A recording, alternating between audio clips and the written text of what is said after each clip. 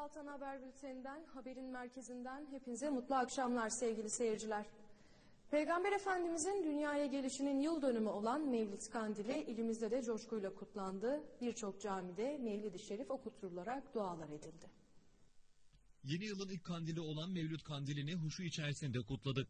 Kainatın en şereflisi Peygamberimiz Hazreti Muhammed sallallahu aleyhi ve sellemin dünyamıza şeref vermelerinin yıl dönümünde Mevlüd-i Şerifler ve Kur'an-ı Kerimler, salavat-ı şerifler getirildi. Eller göğe kalktı, dualar semaya yükseldi. İlimizde de başta çarşı Hacı Abdülhakim Sancak Camisi olmak üzere birçok camide Mevlüd-i Şerifler okundu, salavatlar getirildi.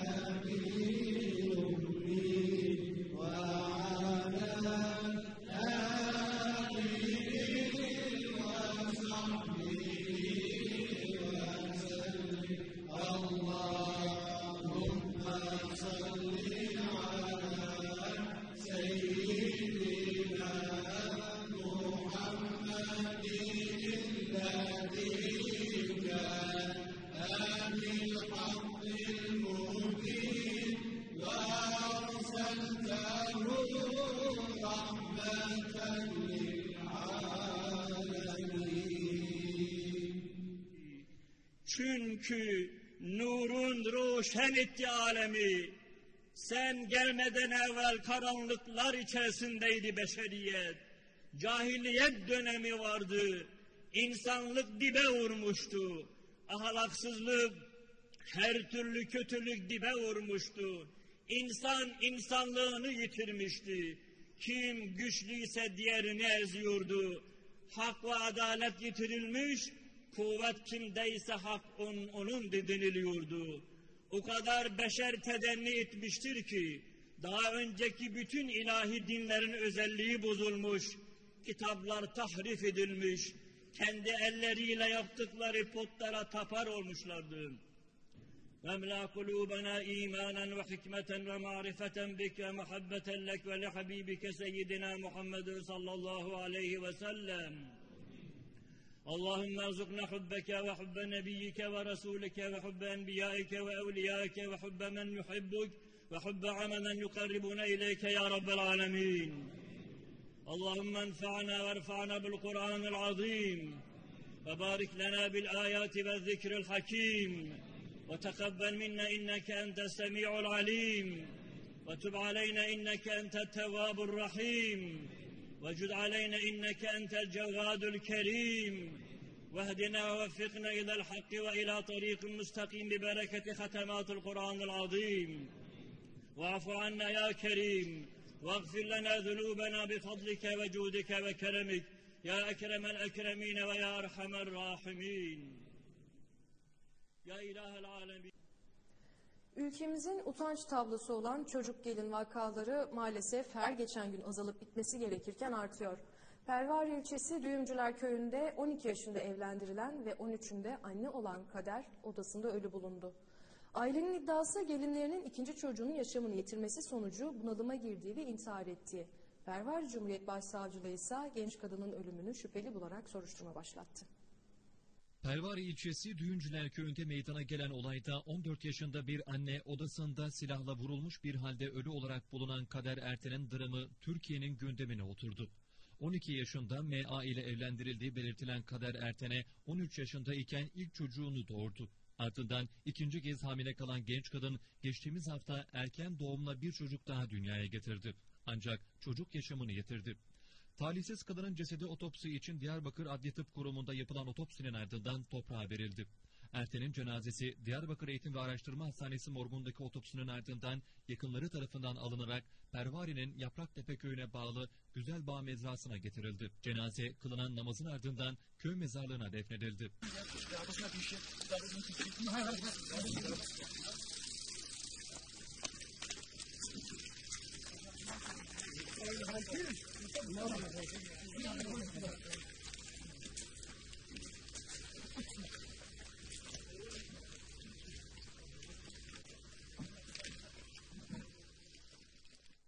Kayınpeder Tahir Atak Kürtçe yaptığı konuşmada gelinin kendisine vurduğunu öne sürerek bizim küçük kız odasına girerken onu yerde görüyor. Bize gelip yengesinin bayıldığını söyledi. Biz de hemen koşup gidip baktık silahla kendini vurduğunu gördük iddiasında bulundu.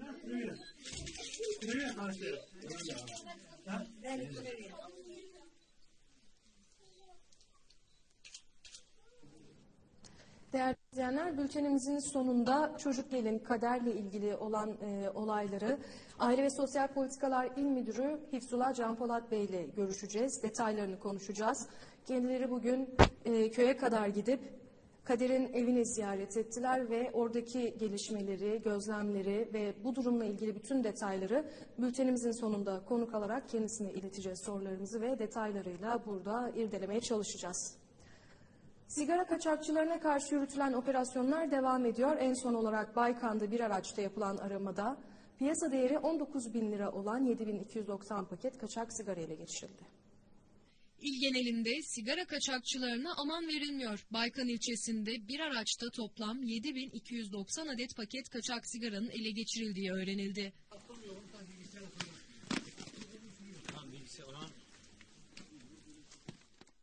Konuyla ilgili edinilen bilgiye göre adli makamlardan alınan arama kararını istinaden bir araçta yapılan aramada piyasa değeri 19 bin lira olan kaçak sigaranın ele geçirildiği öğrenildi. Yakalanan kaçak sigaralara el konulurken araçta muhafaza altına alındı. Müzik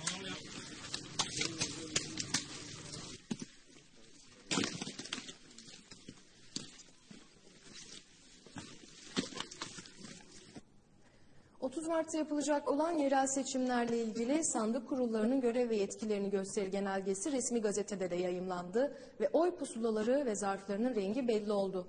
Belediye seçimlerinde mavi, il genel meclisi üyelikleri seçiminde turuncu, mahalle ve köy seçimlerinde ise mor renkli oy zarfları kullanılacak.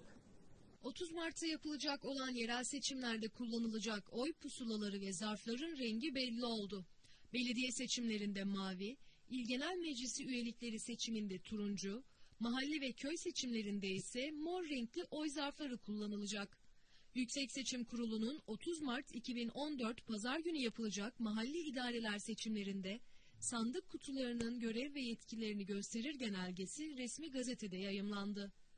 Genelge, İl Genel Meclisi üyelikleri, belediye başkanlığı ve belediye meclisi üyelikleri, mahalle muhtarı ve ihtiyar heyeti üyeliği, köy muhtarı ve ihtiyar meclisi üyeliği seçimlerinde sandık kutularının görev ve yetkililerini, uygulayacakları işlemleri, oy verme şekillerini, şikayet ve itirazlarla bunların incelenme usullerini kapsıyor.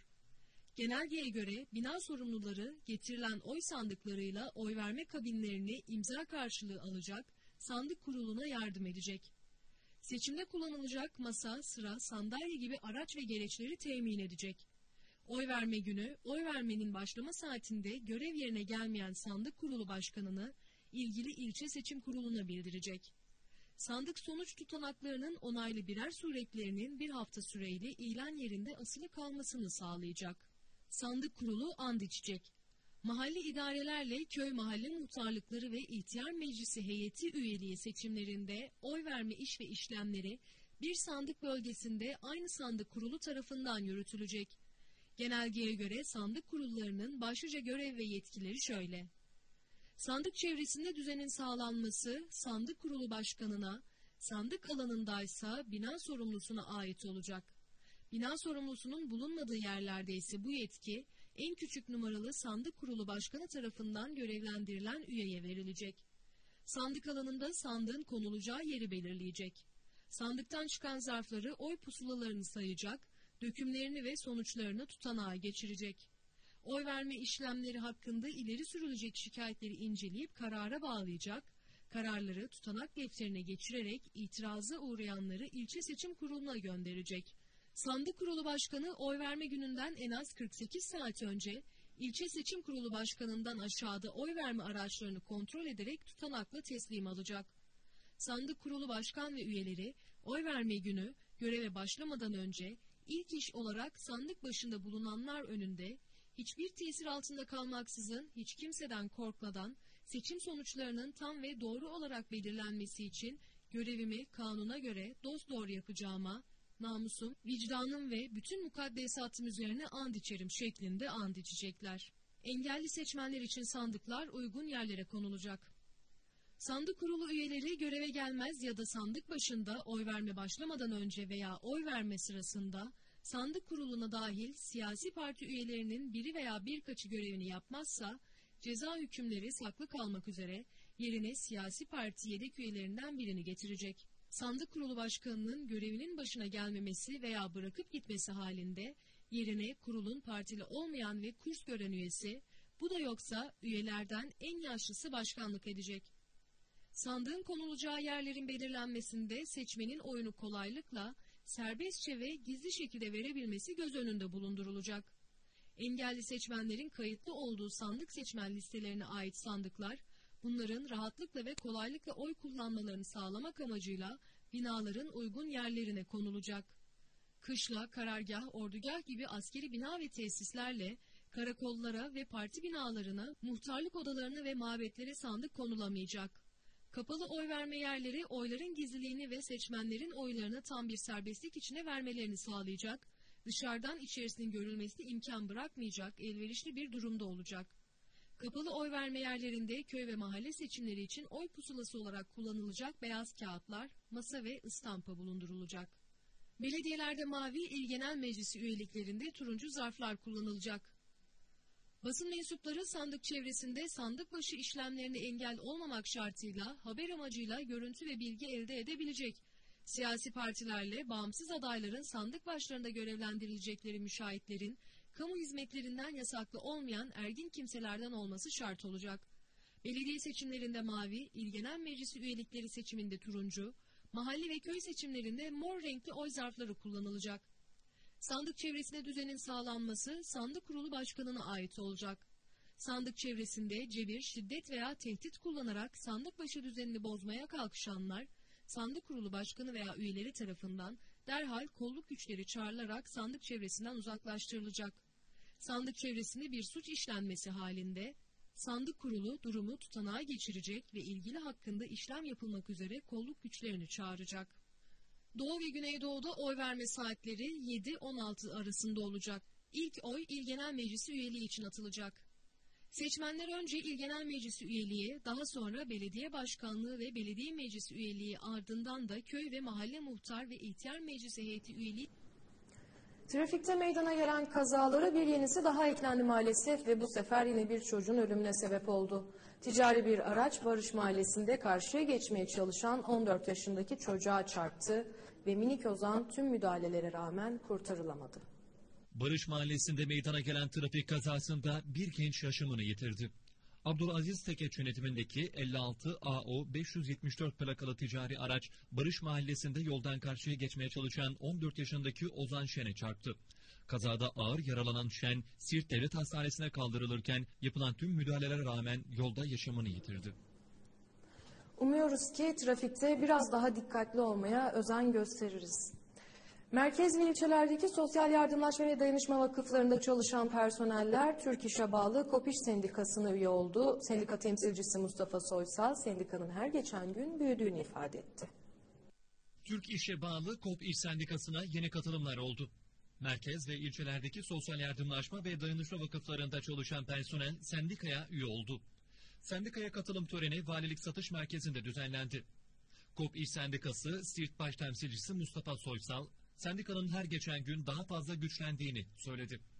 hızla büyüyen, Türkiye'de hızla büyüyen Hop İş Sendikası büyük bir ailedir. Bu ailenin içerisine sosyal yardımlaşma vakfı çalışanlarını aldığımız için çok mutluyuz, gururluyuz. Yaptığımız çalışmaların e, bedelini, hizmetlerini görmek bizleri mutlu ve gururlu yapıyor. Her şeyimizle bundan sonra Siirt'te Sosyal Yardımlaşma ve Çalışan Vakfı e, elemanları, emekçilerinin yanında olacağımızı tüm basın yoluyla tüm halkımızın bilmesini istiyoruz. Vakıf çalışanlarımıza, Hopis Sendikası ailesine hayırlı uğurlu olsun. Kazanan sürekli emekçiler olacaktır. Emekçi kardeşlerimizin haklarını elimizden geldiği kadar tüm platformda, her platformda dile getireceğimize hiç kimsenin kuşkusu olmasın. Hobi Sendikası Türkiye'de şu anda ilk 5 sendika arasındadır. Sosyal yardımlaşmadaki emekçi kardeşlerimizin geçişiyle hızla büyüyen bir aile olan Hobi Sendikası varlığıyla, arkadaşlarımızın katkılarıyla çok daha iyi yerlere geleceğinden hiç kimsenin İlimizi futbol bayanlar 2. ligi 7. grupta temsil eden Hasbey Spor kendi evinde Muş Kartal Spor'u 2-0 mağlup oldu. Maçla ilgili olarak teknik direktör Zeki Eren sakat ve cezalı futbolcularımızdan dolayı mağlup olduk dedi. Türkiye Futbol Federasyonu Bayanlar 2. Lig 7. grupta yer alan Siirt'in tek bayan futbol takımı olan Hasbey Spor kendi sahasında güçlü rakibi Muş Kartal Spor'a 2-0 mağlup oldu.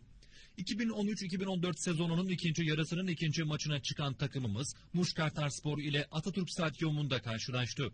Aykut Oktay, Şefik Toprak, Erdinç Danış, hakem üçlüsünün yönettiği maç kıyasıya bir mücadele içinde geçti. İlk yarısı golsüz tamamlanan maçta Muş Kartalspor 60. dakikada Leyla Dündar ve 75. dakikada Aysel Turhan'ın attığı gollerle deplasmanda gollerle maçı kazanma başarısını gösterdi.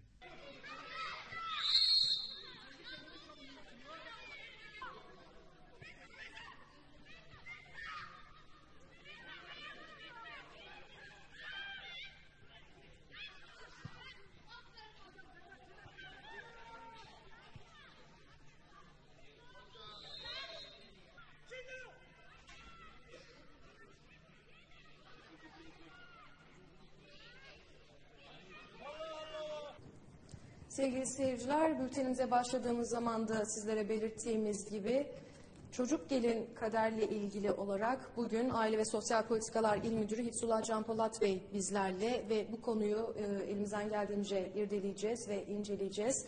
Kendisi e, bugün çocuk gelinin evine gitti, kaderin evine gitti ve orada bir takım incelemelerde bulundunuz.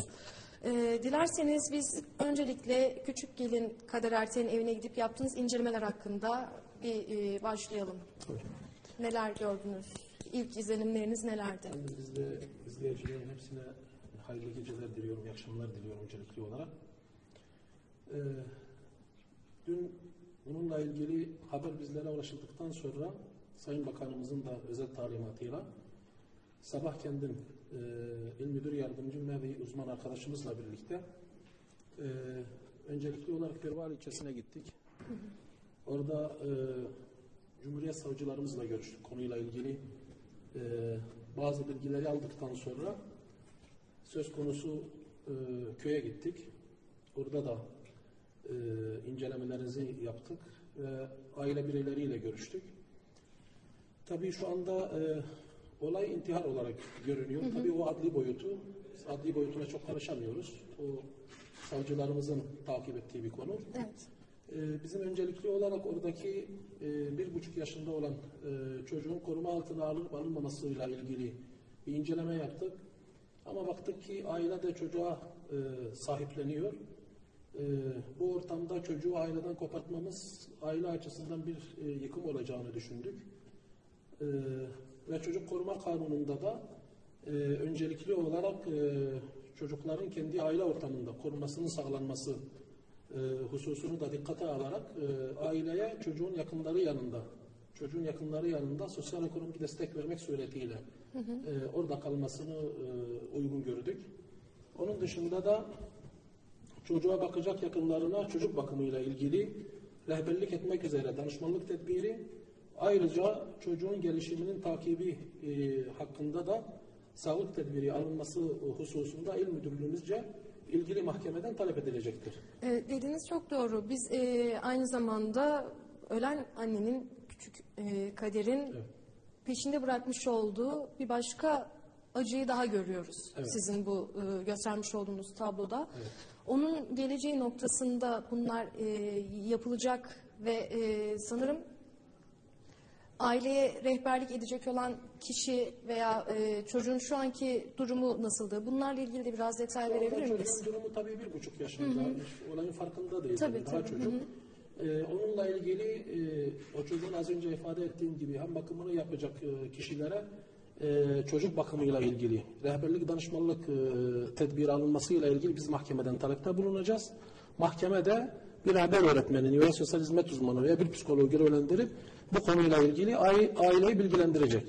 Ee, onun dışında da e, çocuğun e, gelişiminin takibi hususunda da sağlık tedbiri alınacak. Sağlık tedbirini de e, İl Sağlık Müdürlüğümüz aracılığıyla oradaki sağlık personeli tarafından sağlanacaktır. Çocuğun resmi işlemleri peki sanırım çocuğun Çocuğun maalesef yok, nüfus mi? kayıt e, işlemleri yok, nüfus e, cüzdanı yok. Onunla ilgili öncelikli olarak tabii yine biz il müdürlüğümüzün e, koordinesinde ve rehberliğinde e, nüfus kayıt işlemlerinin sağlanmasını e, şey yapacağız, takip edeceğiz. Ondan sonra diğer bu işlemleri yapacağız. Ayrıca tabii malumunuz olduğu üzere e, intihar eden Çok özür dilerim sözünüzü bağla kesiyorum ama e, ben şunu da sormak istiyorum Hipsullah Bey. Savcılıktan herhangi bir, bir bilgi aldınız mı? Yani tabii sonuçta bir soruşturma süreci elbette var. Onun e, yasal olarak gizli kalması Tabii. soruşturma sürdüğü için e, gerekiyor onunla elbette ilgili ama e, verilmesi gerektiği kadar bilgi Hı hı. verin e, o bu konuyla e, ilgili. öğrenebilsek. Tabii intihar eden e, söz konusu e, kızımızla ilgili e, ikinci doğumunu yapmak üzere e, Pervari Devlet Hastanesi'nde e, müracaatı sonucu e, küçük yaşta olduğunun e, olduğu tespit ediliyor ve bunun üzerine ilgili hastane kolluk birimlerine bildiriyor. Kolluk birimleri de Cumhuriyet Savcılığına bildiriyor. Bunun üzerine Cumhuriyet Savcılığı 2013 Eylül ayında konuyla ilgili bir soruşturma başlatılıyor. Ee, ancak burada ailenin şöyle bir ihtirazı oluyor. Aile diyor ki bu kemik yaşı daha büyük. Ee, kemik yaşının tespitiyle ilgili savcılıktan bir talepte bulunuyor. Savcılık da bunun üzerine e, intihar eden kızımızı Devlet Hastanesi'ne sevk etmek suretiyle kemik yaşının tespitini yapıyor ve kemik yaşı tespiti 2013 Aralık ayı sonunda netleşiyor.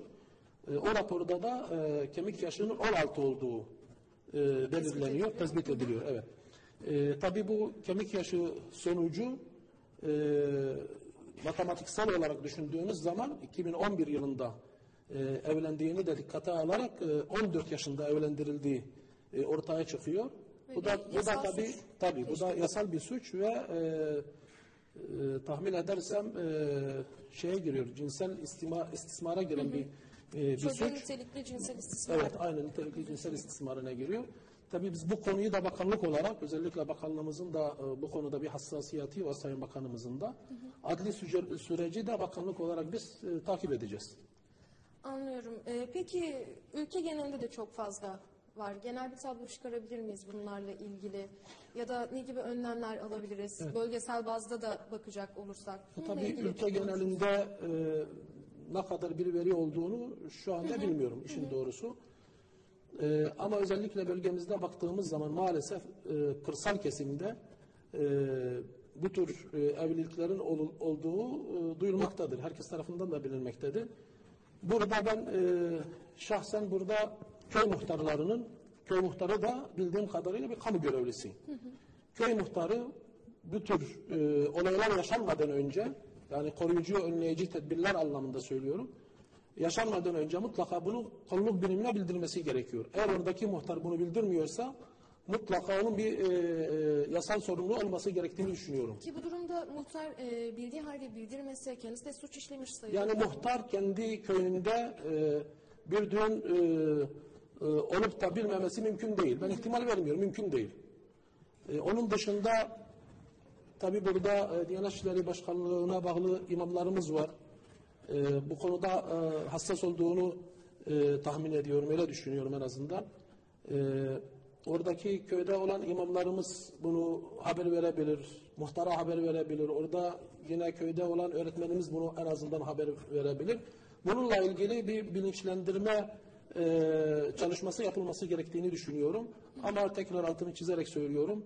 E, muhtar kamu görevlisi olması sıfatıyla e, bu tür olayları adli e, kolluklara mutlaka bildirmesi gerektiğini düşünüyorum. Eğer bildirmiyorsa muhtar burada bir suç işliyor. E, o muhtarlarla ilgili de gereği yapılması gerekiyor. Anlıyorum. Çok teşekkür ediyorum teşekkür yayınımıza ederim. katıldığınız için. İyi yayınlar. iyi akşamlar. Sevgili seyirciler, e, elimizden geldiğince küçük kaderin durumunu incelemeye çalıştık. Hifzullah Bey ile birlikte e, kendisi bize izlenimlerini anlattı. E, ve bu konuyla ilgili hem imamlarımızın hem de köy muhtarlarının duyarlı olması gerektiğini e, söyledi bizlere kendisi. Bizler de aynı şekilde düşünüyoruz. Ve e, bültenimizi bu şekilde kapatıyoruz değerli izleyenler. Umuyoruz ki bu tarz acıları bir daha yaşamayız ve duymayız. Tekrar görüşmek üzere. İyi akşamlar.